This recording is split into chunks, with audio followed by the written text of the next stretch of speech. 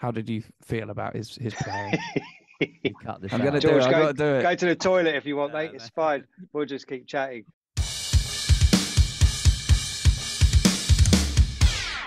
Oh, one last question before we ask the final question. Um, where do your goals lie now as a drummer? Is it becoming more and more education focused, or have you got one more big tour in you or something?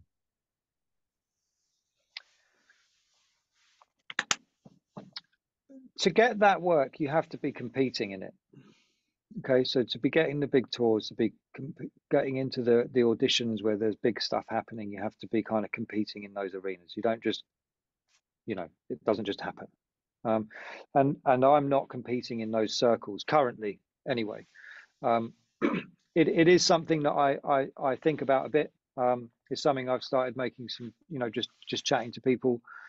Things move quite quickly on in that in that scene. You know, it, it, it changes. Um, so no, it's something I'd definitely be. I'm. I'm. I, I'm. I, it's not something I've thrown the towel in on. I'm, I. I I still work in professional playing circles, um, not just in the UK, but but around the world. So it's something I'm still very very interested in. But you know, I'd, it, it it wouldn't just be a gig for gig's sake. And like I say, it's it's really tough because you have to be working in those circles to to get to be getting those kind of calls or to be getting even the info sometimes um, about about that type of stuff. So um, more and more over the last few years, it's moved into the to the educational stuff and working with brands more on, from from in that kind of capacity as well, um, bringing that kind of area of specialism and expertise to to brands to be able to kind of demonstrate things for for brands. We've just been working on some really exciting stuff with um, with Natal, and there's some quite exciting conversations going on with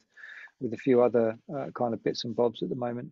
Um, and things change, you know, li- li- life changes. I've got a family.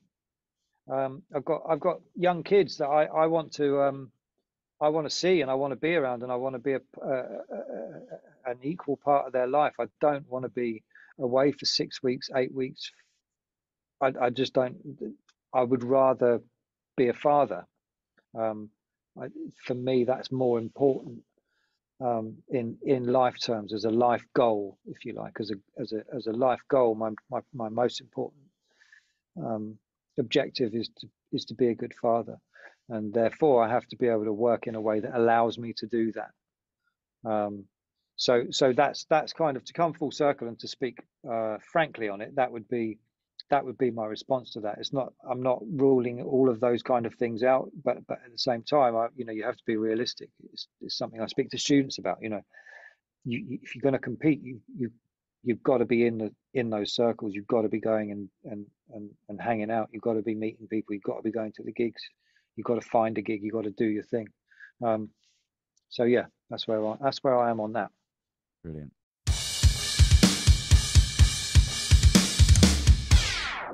I wasn't expecting that. That's a curveball. You ask that to everyone. Yeah. Have you not been listening? Why every have I not seen that last question? You give up 20 minutes in. I'll pause this. Get rid of this. I've had enough of this now.